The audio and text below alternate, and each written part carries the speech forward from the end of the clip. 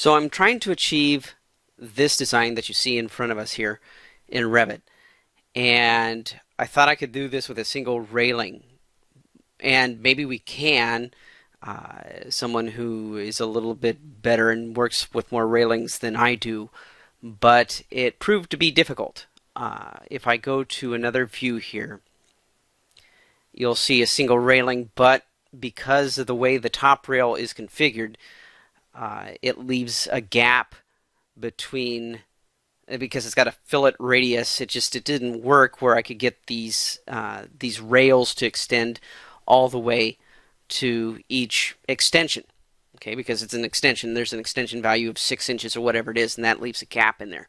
So, and if you leave it at zero, there's uh, the extension doesn't work, and it uh, basically you have two posts that don't uh, that aren't continuous. So here's what what I did, uh, and what I'll do is recreate it. Basically, there's two railings. Okay, so let's let's do that. So I'll go File, New, Project Architecture Template, and we'll start off. And I'm going to do this from scratch. I'll just do a railing, place on path here, put it right by the south elevation, make it 10 feet and we'll make sure that it's one of the guardrail pipe types here. And we'll finish the railing. Now we'll start editing this railing. And what we're going to do with this railing end uh, is is essentially um, we'll go into the type properties. We will not have a top rail. This is going to be our our horizontals this railing is. And we probably ought to duplicate it shouldn't we first? So I'll duplicate it and we'll call it uh, uh, guardrail horizontals. Again, name it whatever makes sense to you. And uh, no top rail, no handrail.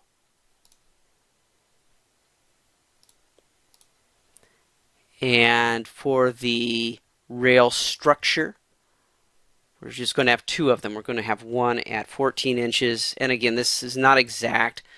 Know your dimensions might be a little bit different here, but we're just going to use these as a illustrate and we're going to get rid of all the other rails. You notice that error message that we got about the references of the, the posts and stuff. We'll, we'll fix that in a moment. So anyway, yeah, there's rail 6, rail 7. Let's make this proper. Rail 1, rail 2. Okay. And then in the baluster placement here,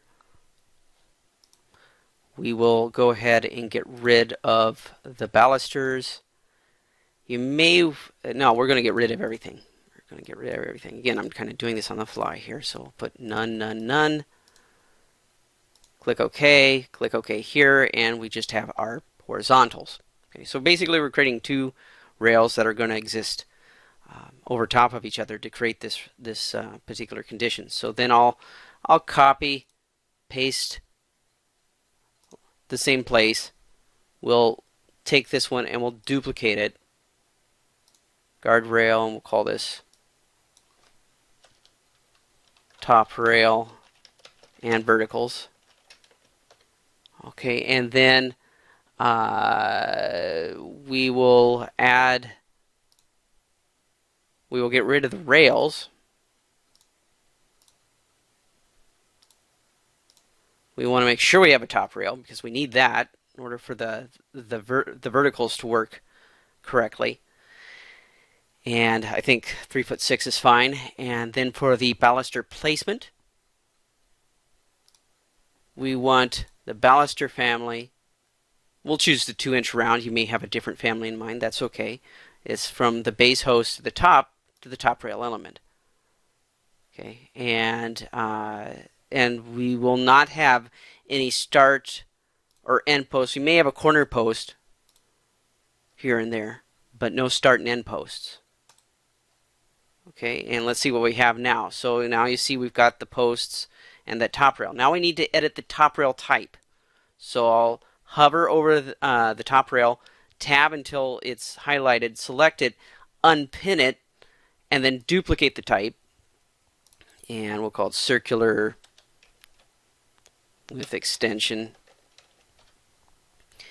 And then the we'll leave the profile alone, but we will want the join to be a fillet, fillet radius 4 inches, and we'll want the length and the extension to be, I believe, 4